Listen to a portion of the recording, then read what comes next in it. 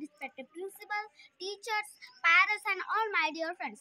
My name is Shreya Bhagwat Kurunkar, RZP School Walang. First of all, I wish you very happy Republic Day.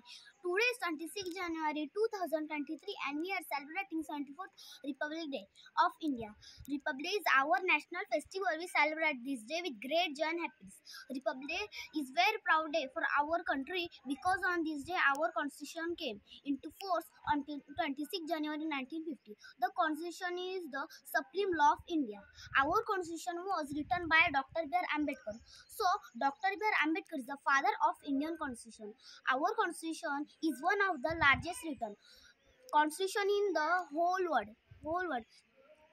Indian constitution gives us fundamental rights like freedom of speech, education, education, religion, and more.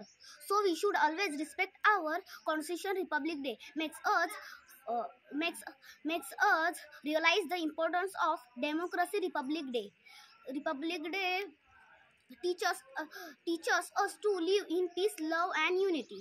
Republic means a country whose leader is a president, not a king or queen. This would not this this would not have been possible if our freedom fighters like Bhagat Singh, Chandrasekhar Azad, Mahatma Gandhi, Lokmanya Tilak, Lala Lajpat Rai, Babasaheb Ambedkar, etc. had not made numerous sacrifice.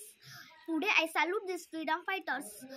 Freedom fighters. On this day, our Indian national uh, in flag is a hosted national anthem. Janagana Mana is sung.